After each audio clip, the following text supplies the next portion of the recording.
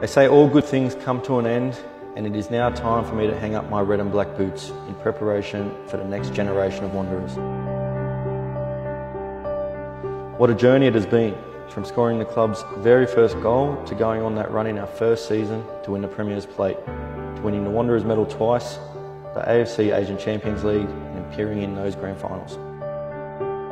I've shared in moments of great success and moments of disappointment, but I wouldn't change a thing.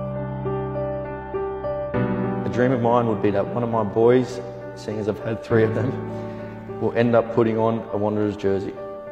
What a moment that would be. I'm so grateful for the members and the fan support of me during my time at the club, and I really hope I've done them justice and made the Western Sydney region proud.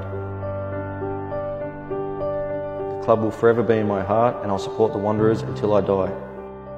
Thank you again for all your support, and see you at one of our matches back at Wanderland.